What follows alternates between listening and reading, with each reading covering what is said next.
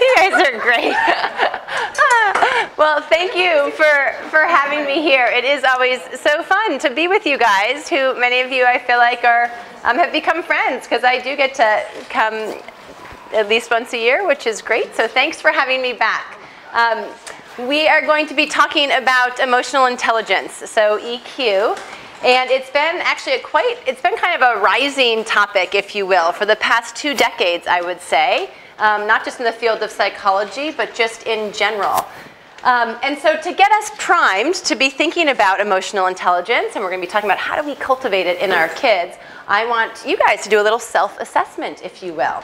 So I'm going to put up some questions here. It's a little quiz for you, but don't worry, I won't be grading it. This is just for you to be thinking about your own emotional intelligence. These are just uh, eight questions. So I'll be quiet. Normally you would just take this, it would be strongly disagree through strongly agree. Just read through these and kind of rate yourself, if you will, on how many you agree with or disagree with.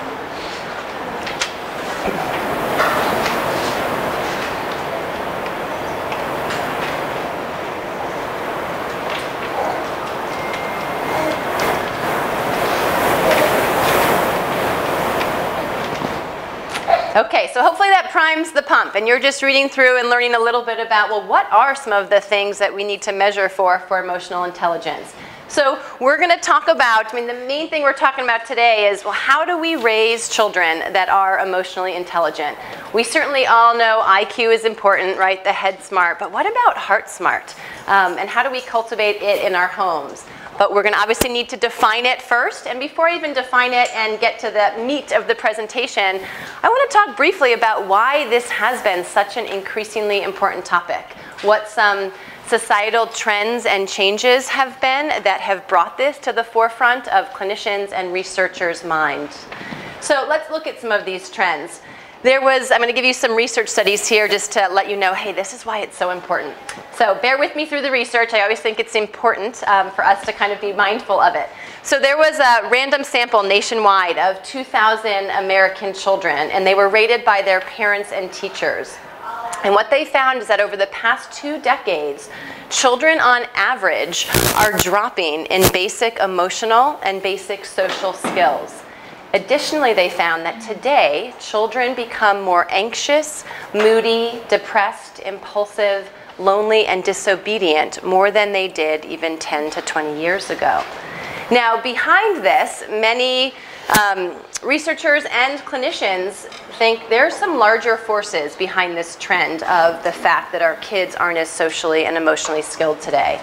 So one of the forces perhaps is new economic realities are making it so that parents have to work harder and often longer hours to support their families.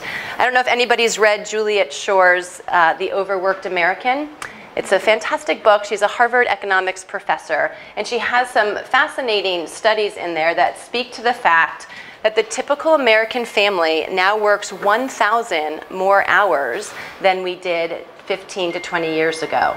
One survey showed that Americans have one third less free time than we did 20 years ago.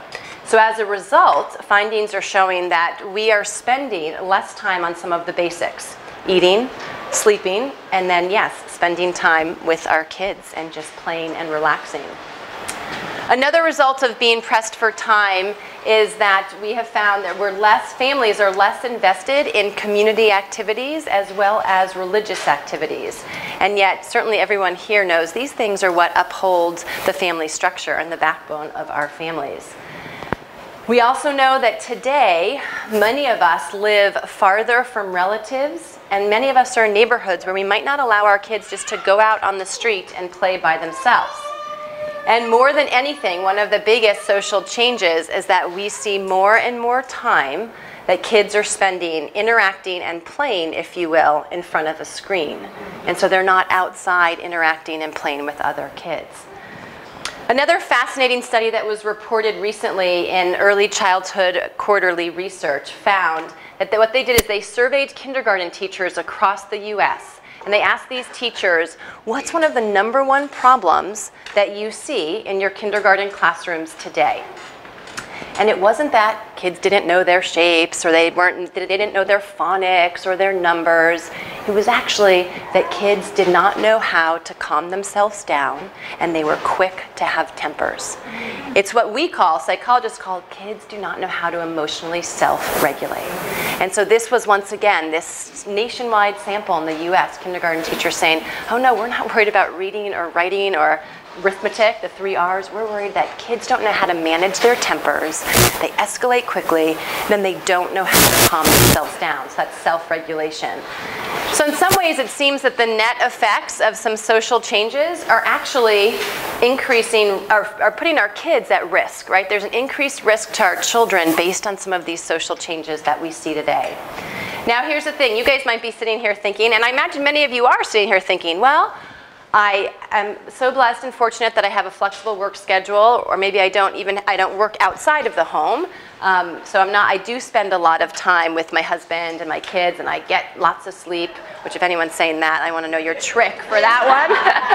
um, you might also be thinking, we're so blessed. We have family, we have relatives nearby. We, we're here at church, so we're part of communities, and we should truly celebrate that you all, this group, in some ways, some of these trends don't apply to you because you probably do limit screen time. You've got support nearby. You're part of a church community.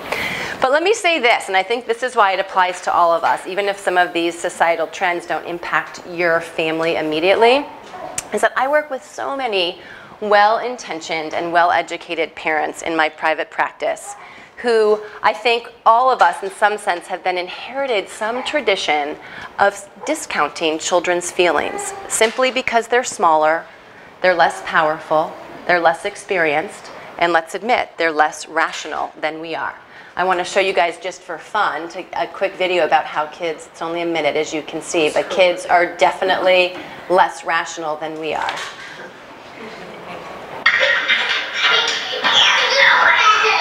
You can't lift that up? No! Come back and try again. You're almost to the sink.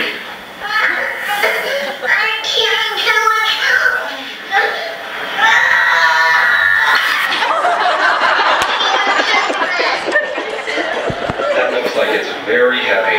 I think you can do it though, Kirsten. I think you can lift it up to the sink. and you can help clear the table. I think you can do it. Your big hammy couldn't do it, but you could do it. Oh.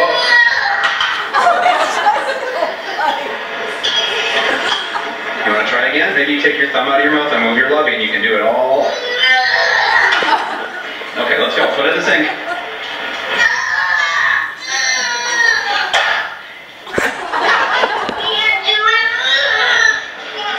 Oh. You did. It was so heavy.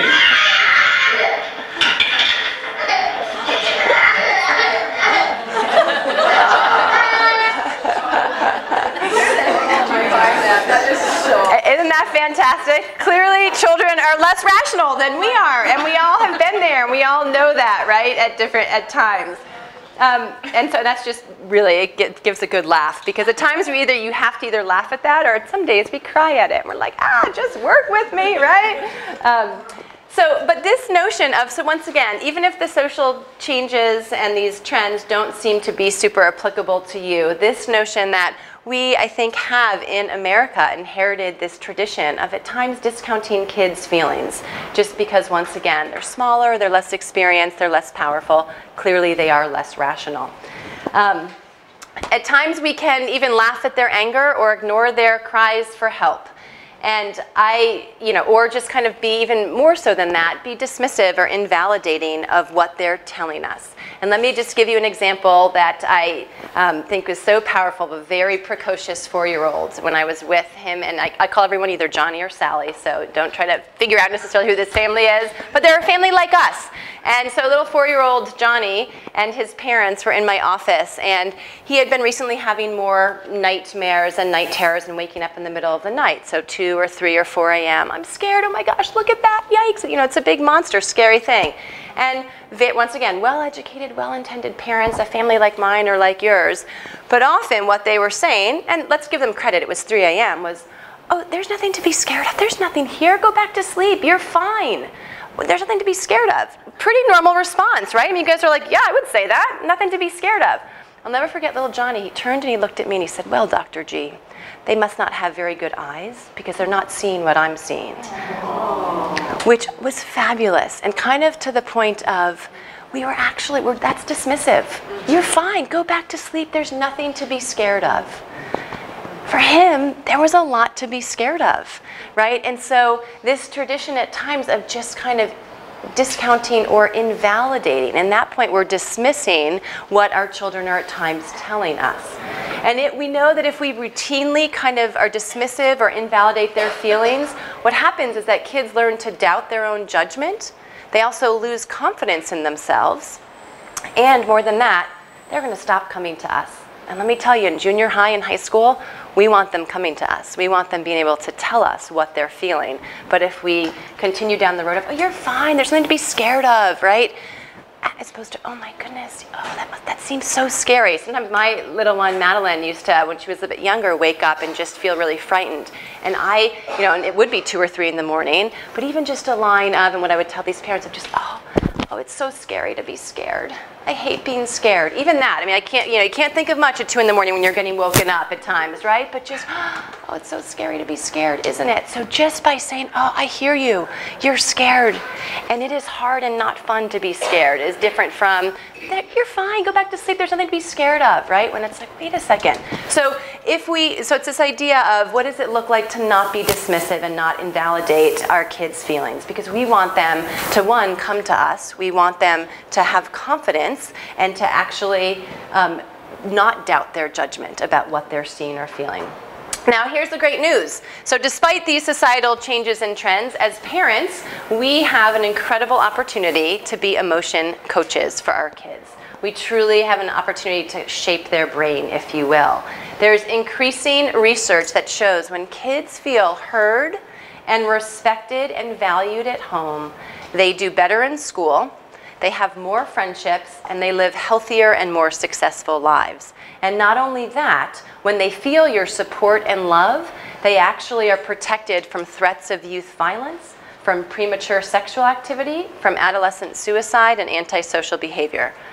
Clearly, we want our kids protected from that, and we want them to thrive and do well in school and have more friends. Okay, so how do we do this? How do we homes, but before we talk about how we cultivate it, let's talk about what exactly is it. So real quickly, four components of emotional intelligence. Um, and this is taken, actually the two books that I had up here, I would highly recommend. So John Gottman's Raising an Emotionally Intelligent Child, very user-friendly, reader-friendly. It's just fantastic for parents. It's not too jargony or researchy. So that's the Gottman book. And then Daniel Goleman. So he is kind of the researcher and psychologist who pioneered um, and really put EQ on the map. And actually, when I'm defining emotional intelligence right now, I'm using Goleman's four components, which is really the most widely used um, in the field. So the first component of EQ is self-awareness. And this is when you know your own internal states, you can recognize your own emotions, and you have a sense of your self worth and your capabilities, right? So, knowing your own internal states, recognizing your own emotions, having a sense of your self worth and capabilities. So, that's the self awareness. The second component is self management. So, if we're self aware, which is great, can we then manage our internal states and even negative ones? Can we keep disruptive emotions at bay when we need to? Are we flexible in handling change? Are we persistent in pursuing our goals despite obstacles? And then we're acting congruently with our values. And so that's self management, right? So it goes beyond the self awareness, and it's a second component saying, hey, when you're feeling stressed or having disruptive emotions, do we know how to manage that? Can we keep it at bay? Can you persist in a goal even if there's an obstacle in front of you? The third component is empathy and social awareness. So this is then sensing other people's feelings and perspectives and taking an active interest in them. Right? I think of this as simply perspective taking. Right? Howard Gardner, who has a, um, multiple theories of intelligence, he talks about this as people smart, right? So can we be aware of what that other person is feeling? Quick story about that. When my oldest, Kate, was about 18 months old, very, very verbal. Both my kids were quite verbal. My poor husband thought it was a little too verbal. That, and I thought, well, I'm talking to them a lot. I know the research about language development, so I would often explain what we were doing. So when Kate was 18 months old, I remember this very distinctly. Madeline wasn't even born yet. I was quite pregnant. We had just gotten a new washing machine and dryer, top of the line. I was thrilled for it. We had moved into our um, new home, and I remember we had had it for about a month. And I was in the laundry room, and all of a sudden, you know, it's a fancy one, all the buttons. I was pushing a button, and I'm kind of leaned down. Kate wasn't in the room by me, but she was down the hall, and she could actually see me. Little did I know. And I was thinking, and it wasn't working essentially. The washing machine wasn't working. And I'm like, you've got to be joking. We just paid a ton of money for this. What in the world? And I'm sure I'm not somebody who, you know, becomes incredibly demonstrative, but I just, my face, I was just kind of pushing and I was probably muttering under my breath, like, you've got to be joking. What in the world? And this isn't working. And so Kate kind of, you know, tiles up to me and she says, Mama, you fustated? 18 months old. And I looked and my husband heard it and he just, and I said, sweetie, I am frustrated. Right, she can barely say the word well, but this is that idea of social awareness. And Thomas looked at me and he said, she is the daughter of a psychologist, isn't she? Most 18 months old probably couldn't name somebody else's emotion, let alone frustrated. And I definitely was, right? So empathy and social awareness, and that kind of gives a quick story about what that is. The last component, relationship management. So this is not just perspective taking, but this is the skill to bring out a desirable response in others. So this is when you not only can see somebody else's need, but you can bolster their abilities. So you can inspire individuals and groups.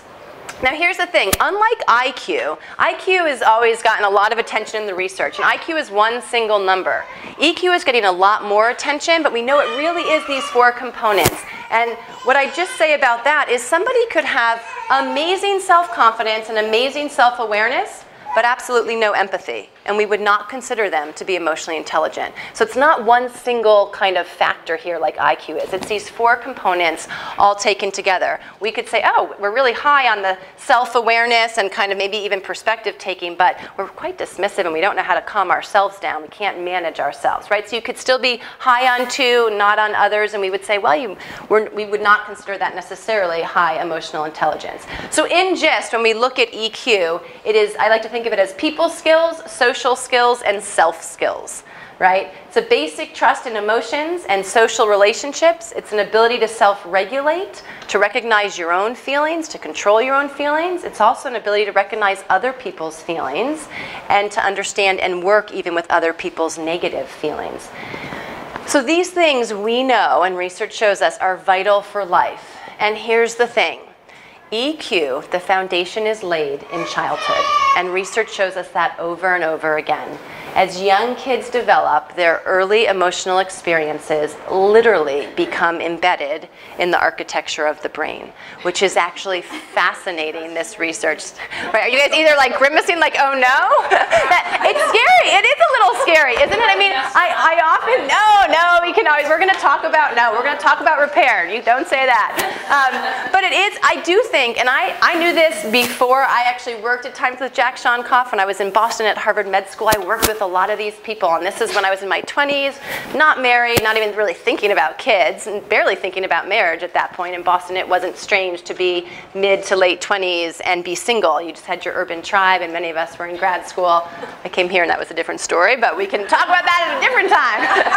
I wanted to wear a sign at Westmont saying, I'm single, content, and just fine with it. Like everyone was trying to set me up on a blind date. It was wild.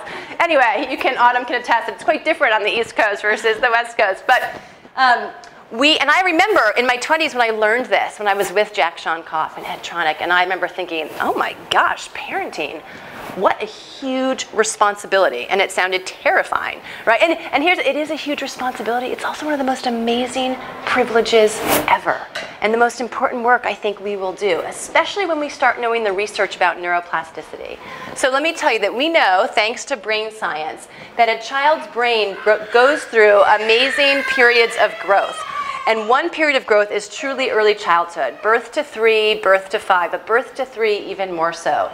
And we know that our brain gets sculpted during that time. And it's not just the neurons that are connecting, which is all happening during that time physiologically. The reason that our brain is um, connecting and neurons are connecting is truly based on our experiences. So, what experience we have is what helps our neurons to connect. When they wire together, they fire together, the brain prunes away. Known as neuroplasticity, which is essentially is saying our brain is modifiable due to our experience. And research shows that in the most incredible ways, really fascinating ways, studies that have been done. Unfortunately, a lot of these studies are done when there's been trauma, abuse, and neglect. Um, that we go in after the fact and we see, oh, the brain literally didn't wire together because they were deprived of this, right? And so it's during this time of early childhood that environmental influences on brain growth are incredibly powerful in shaping a child's emotional and social neural, neural circuits. We know, and research shows us, that kids who are well nurtured and whose parents, because initially we've got to help our kids calm down. And no two year old can often just calm themselves down on their own. So, but parents who go in, help them, calm them, literally hold them, and nurture them, they seem to actually develop greater strength in brain circuitry than kids who are not nurtured and cared for and supported. So, as parents, in other words, we have an opportunity to create an environment that lets kids' brains function at their best. We also see that emotional intelligence, and when we, and we're about to talk about what are some things that we can do, but we see when we actually tune into kids, our corpus callosum, which is the um, collection of nerve fibers that separate our right and left hemisphere, literally are built when parents are emotionally attuned and responsive to kids when they are, especially at a young age, not able to regulate their own emotions. So let's talk about then, knowing that it's so important. I'm just going to get to the heart. We have about 10 minutes left, so we'll go through this and have time for Q&A. What do we do? How do we cultivate EQ in our homes? Um, so I'm going to just give you some things that I think that are research backed, but also come a lot from my clinical practice and then just from personal experience. The first thing I would say is practice it yourself. Practice emotional engagement and attunement. It is so incredibly important for you to be able to name your feelings. And by the way, not just your good feelings, if you will. I mean, I put good in quotes because I would say all feelings are good. But I think unfortunately, somehow we have learned there are certain negative or bad ones, which is not the case. But we sometimes pass that down to our kids as well that oh, it's not okay to be angry or it's not okay to be jealous. Actually, all feelings are okay. Now, all behaviors are not okay. Just because you're angry doesn't mean you can go and whop somebody in the face or do whatever, you know, push them down all feelings are okay. Let your kids hear you say, ah, I had, I had a bad day, I'm just sad or I'm frustrated because of X, Y, and Z. Practice it. These two things go hand in hand. Practicing emotional engagement and modeling for your kids, right? Modeling by being honest with your feelings. Sometimes I have definitely seen, and I've had young adults report to me that literally their mom or dad would say, no, I'm fine, I'm totally fine that's not actually emotional engagement. I mean, that's not honest, right? Because all, and that's a very mixed message that is very confusing for children. You know, we're kind of, I'm, I'm I mean, even if you're in a fight with somebody and they're watching you, by the way, if you're fighting with your spouse, and say, instead say, ah, no, I am frustrated. I'm just so upset. Or let them see you. It's okay for them to see you cry. And then you can say, you know what, but it's okay because mommy can handle her feelings, right? So we want to practice the emotional engagement and attunement. We want to be honest with our feelings and be truthful so kids know all feelings are okay. No, Jesus experienced all feelings, by the way. Jesus got angry, right? I think sometimes in the church we give the message, especially that it's not okay to be angry. No, it actually is okay to be angry, and our kids need to know that, and our kids need to know that we can handle their incredibly intense and extreme emotions. I have had one about 23 year old who said to me, um, he's very emotionally kind of closed off, and I would say emotionally constipated is a word I sometimes use. And, um, and things have been hard, and he won't let himself at all even get tears in his eyes. He just stops himself and he said, Well, because when I cried when I was a little kid, when I was told by my, by my dad, boys don't cry. Like boys are wimpy if you do that, right? Like suck it up. And then he said, but when I cried, so then I thought, well, at least my mom I can cry in front of, but she would start crying and kind of not just start crying, she would start losing her composure, right? And so he then learned, okay, well, my mom can't handle it either, so I better just never cry because I'm either a sissy or I'm overwhelming my mom, right? I just, so she can't handle it. So I've just got to learn to kind of suck it up we want our kids to know that yeah they can cry to us and they can see us get tears in our eyes. And then if they if they get worried you can say oh honey i just i love you so much that my heart hurts when yours hurts but you know what? I can handle it and i want you to tell me these things. And so let's talk about strategies right? If you're somebody who's very sensitive and might get teary in front of your kids more often than others that's okay as long as it doesn't overwhelm them and as long as you can back it up with mommy can handle this. You know mommy just sometimes gets teary too because all feelings are okay right so practice it ourselves model it kids are watching us. Social learning theory really, the, the gist of that is monkey see, monkey. You don't realize how much they're watching you, but they are watching you all the time, right? And the classic research that came out in 1973 by Albert Bandura still holds true today. People have actually tried to disprove his theory, particularly people who make violent video games and violent movies have tried to disprove his theory, and we can't, right? Because his theory is no, actually watching violence or watching pro-social, whichever it is. If you watch violence, you're more likely to act violent or act aggressive. And the same is true if we're watching pro-social behavior and altruistic behavior, we're more likely to act that way. So it's important for kids to see us um, modeling emotional engagement and attunement. Okay, the third is explicitly teach it. Explicitly teach emotional intelligence kids don't have the words, especially young kids, don't always have the words for the way that they're feeling. So when you look at them, a great principle that I learned from Berry Brazelton um, was use the behavior of the child as your language. By the way, this is great for young kids. This is amazing for adolescents who constantly feel like they have to be on the defense with their parents and constantly feel judged by their parents. So just use their behavior. In other words, if they're sitting back, I don't know, you, you look like you're frustrated or mad, your arms are crossed, your eyes are looking down. Use their behavior as your language, right? Whatever age it might be. And then for young kids that can't sit, don't know maybe frustrated or jealous or embarrassed or sad, say to them, is it more that you're sad or is it anger or frustration? They will, so give them the words at first, they will be able to say, well, what does it mean to be embarrassed again? So then describe it for them. That's us kind of explicitly teaching emotional intelligence. A great way to also explicitly teach it, use books, use movies. Uh, how must have Lisa felt when she went home without corduroy the first time? Because her mom just didn't let her buy corduroy. Anybody know the book Corduroy? I love it. It's a great one. How do you think she felt?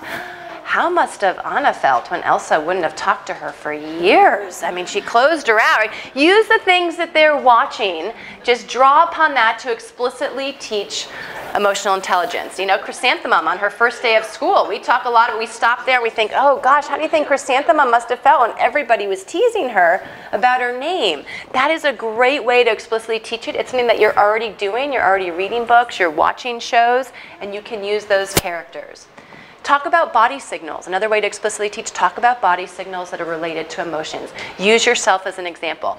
It was so cute. Uh, this was about a year and a half ago. I was speaking in chapel, and I've spoken in chapel a couple times at Westmont, but you know, it's a bigger audience, and I'm so used to teaching, and I adore my students. My classes are capped at 30 because it's Westmont and it's small. I'm like, oh, great, now it's 1,200, and all my peers were, you know, my colleagues were going, and my kids were coming too. One of the Westmont students who works with us babysitting said, oh no, I'm going to totally bring them. And I was like, well, you better sit in the back because Maddie's like two and a half or three. Like, I'm not sure that's going to go, but okay, that's all on you. But I remember that Kate said to me, Mama, do you have those somersaults in your belly right now? It's great. Use bodies. And I said, I actually totally do. And I said, so what am I going to do next? Now this is a precursor to what's to come. And so we took deep breaths together. And then, of course, I went in and power pose in the bathroom because that's another great thing to do.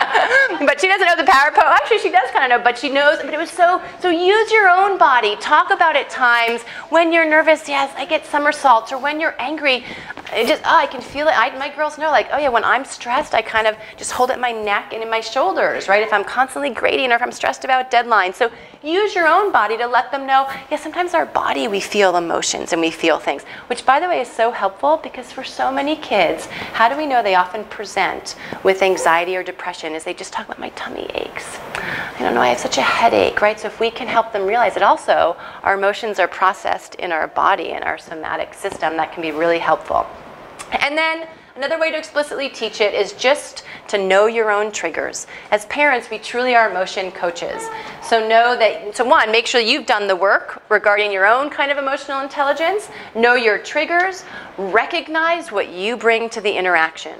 Recognize what kind of type of day you've had, right, where you're at. Apologize. Let them hear you apologize to them to your spouse, to your husbands, when you've done something, they should definitely be hearing us say, oh, I'm sorry, you know what? I think my I was just really quick to raise my voice and it's not even related to what you did. It's not even related to your room. I just have had a tough day. And so I'm kind of, let them hear that, right? So in that way, recognize what you bring to, to the interaction. We also know that in regards to being an emotion coach, it's really helpful to praise the effort. What I mean by that is saying things, even when there's more to be done, you, you know, you can kind of, and sometimes my tendency is to walk into a room and say, oh, the playroom is a mess again as opposed to, okay, I see that you guys have started to pick up. Thank you so much. Let's keep going, right?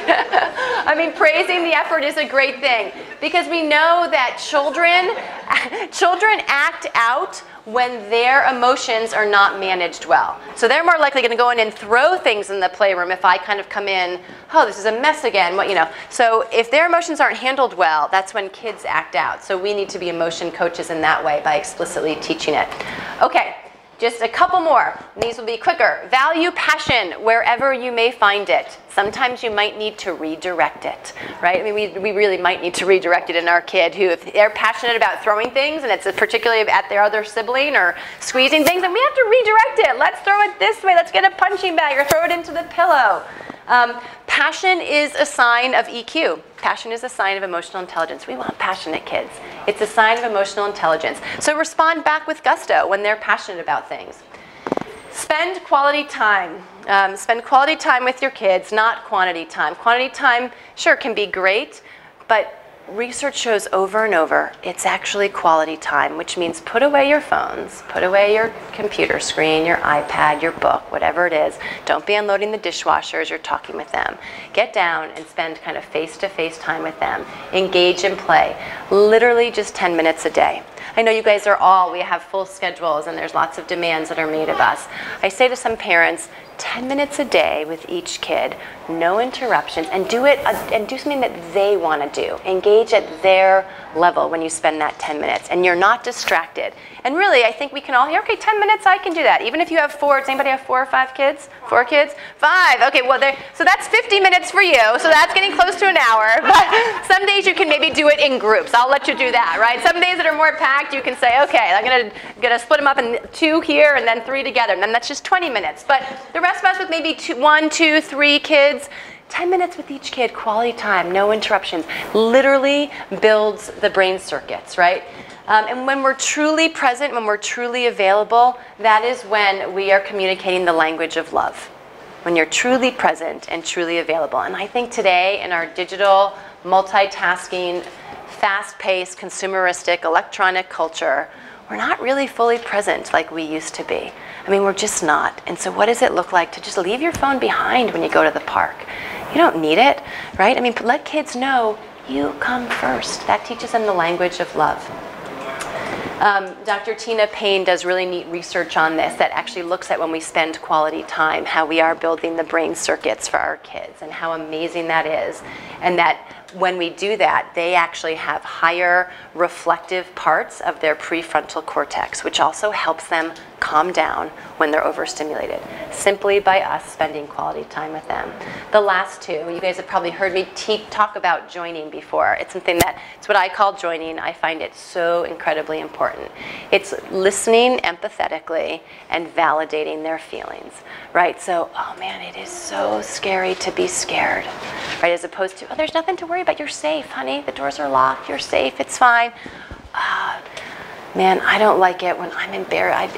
getting embarrassed can be so, ugh, such a yucky feeling, can't it? Just do that first. Join with them before you jump to problem solving. We are so quick to problem solve.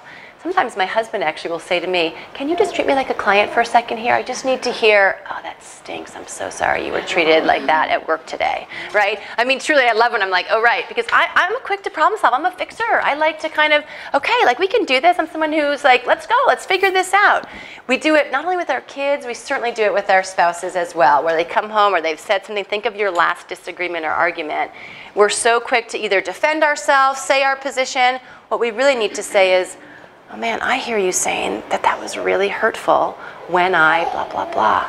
I didn't realize that I hurt you in that way. When we slow down the communication process, when we join and validate, the conversation goes so much better, truly. And so that's joining. And if we seek to understand our kids' behavior, they also will have higher emotional intelligence.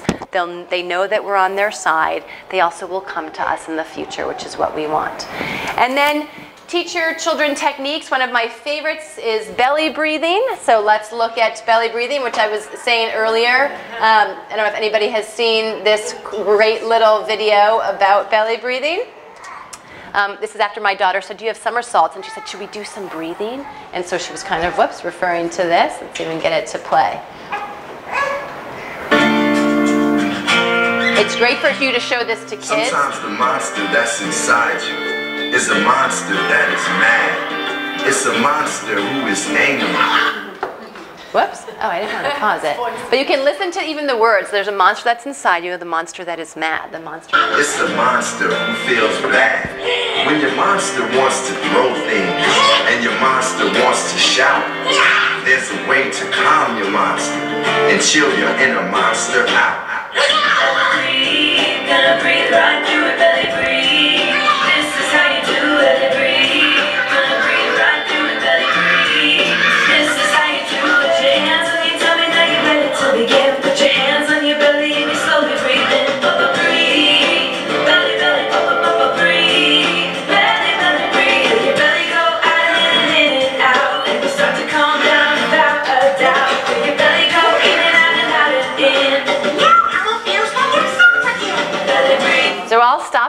you guys watch the rest just for sake of time.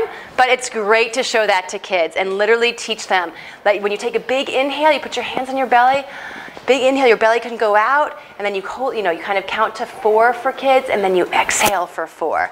Teaching them deep breathing, we literally know that that technique is so simple. It's good, by the way, for all of us. It can be done anywhere. People don't need to know that you're doing deep breathing, and it literally changes kind of the circuits um, in your blood flow and then in your brain as well. So teaching them techniques, that's a great one to watch with them and have them do it. Super catchy as well, so they'll appreciate and love it. Okay, and then lastly, this is my last um, comment about how do we cultivate emotional intelligence in our home.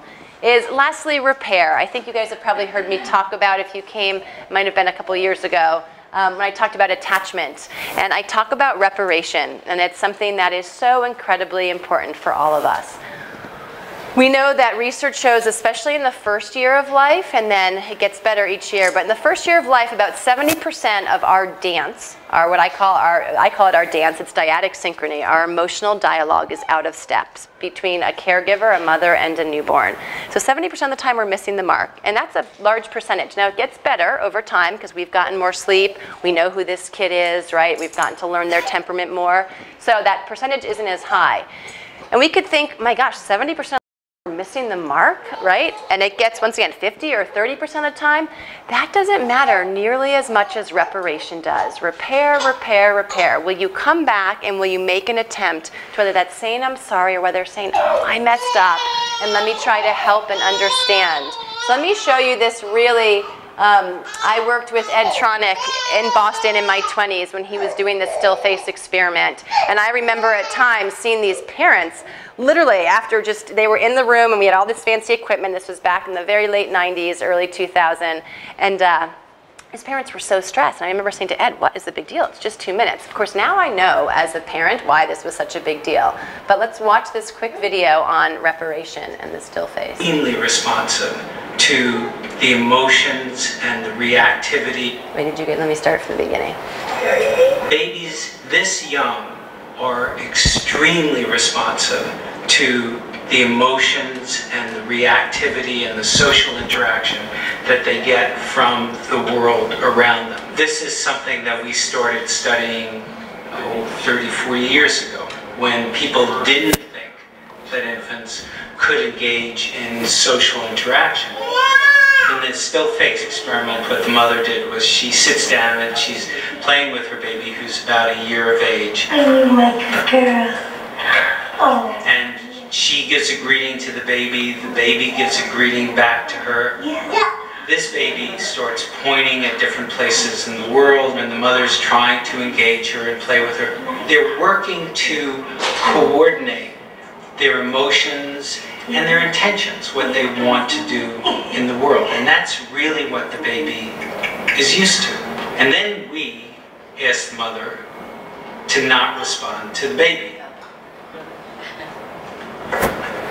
The baby very quickly picks up on this. And then she uses all of her abilities to try and get the mother back.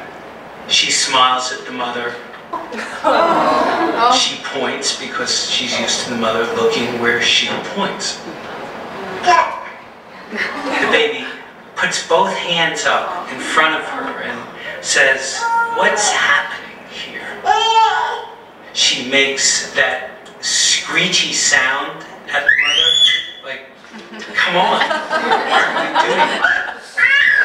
Even in this two minutes, when they don't get the normal reaction, they react with negative emotions, they turn away, they feel the stress of it, they actually lose control of their posture because of the stress that they're experiencing.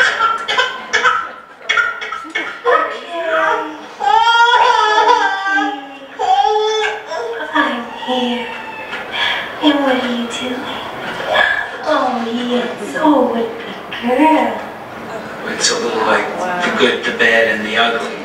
The good is that normal stuff that goes on that we all do with our kids. The bad is when something bad happens, but the infant can overcome it. After all, when you stop the still face, the mother and the baby start to play again. The ugly is when you don't give the child any chance to get back to the good. There's no reparation, and they're stuck in that really ugly situation. Babies this young So I want to just conclude by saying once again what an amazing um, responsibility as well as privilege it is that we have the opportunity to be emotion coaches for our kids.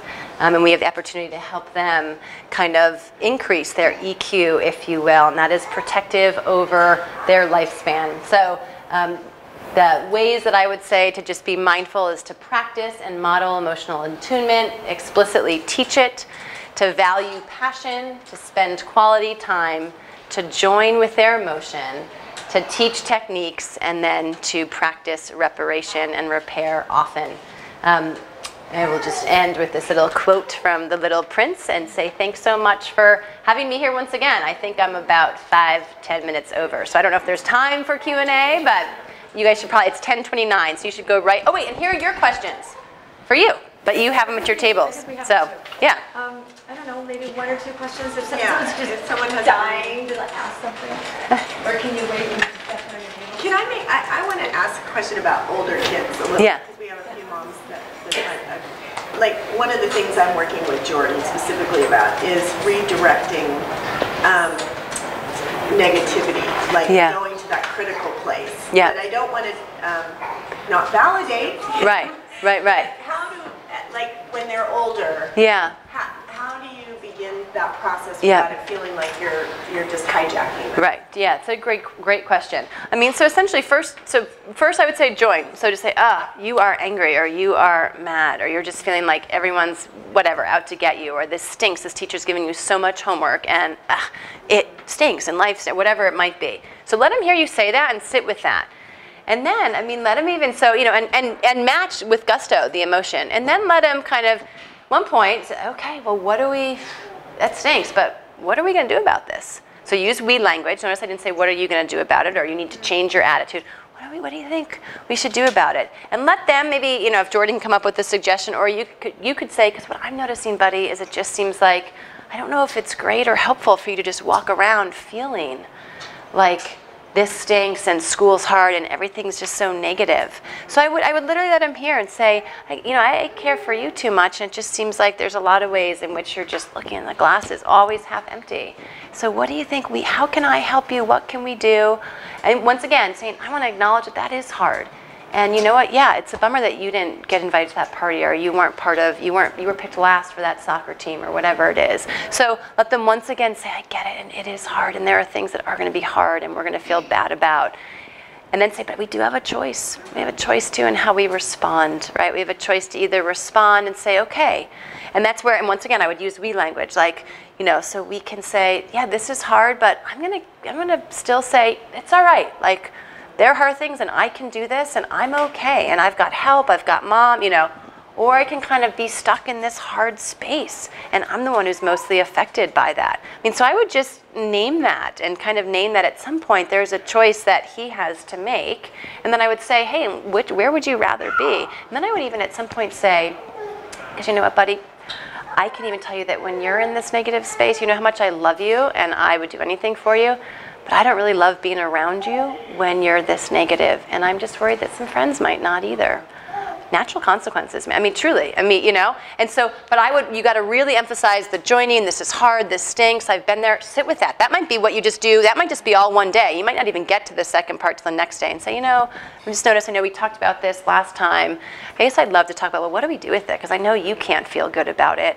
And guess what? It, Dad and I don't feel great about it either. And I don't think your friends are super attracted to it either, right? Because we all know, like, you can say you don't really want to be around somebody who's a grumpy Gus, negative Nancy. Like, we want someone who's more of it, you know. And so I think all of that conversation and helping them think about it. Is that hopefully answer? Is there a redo button? Yeah, yes, there's always opportunity for growth and for repair, no matter how old your kids are. Yes. We will make mistakes, we do make them. Oh, that's right. Oh, yeah, we make them all the time. I mean, that still face experiment. I mean, if you couldn't guess, Ed's re- Dr. Tronick's research was, uh, and then came to be about postpartum depression. And so we would go into homes and we'd say, okay, like this is a real thing. And this mom is, she has a still face because she is so struggling. Her hormones aren't in balance. So, one, we've got to rally the troops. We've got to make sure there are other people around. And we also have to help because kids need that engagement. Because he found if they don't get it, there's a higher likelihood of ADHD later on. You can see because they're trying so hard, right? Even in that first, like, me, don't forget about me. Wait, what are we doing here? And they lose posture. And then we actually see even later some correlation with ADD. Great, because it's almost like we need to educate ourselves first.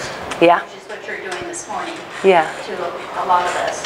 Um, And so then before we can pass it on and live it out. Right, To our yeah. kids. Yeah. No, I think it's- I, I think this is great to be able to Well, present on this. thank you. Yeah. Really fast. Really Yeah, you have to, I defer to these guys because I already, I was supposed to be done by 10:25. Okay, yeah, ask them. Turn to your tables. That's right, right? Let's, let's appreciate Thanks. Yeah, yeah, thanks. Thanks for being here. Um, yeah. And you have your questions on the tables, and just so you know, she is in town, she does have practice, so if there's something burning inside of you, you know, make it a Look at those eyes. Yeah, I love it. yeah. So go ahead, now we've got like 25, 25, shoot for 20. Yeah.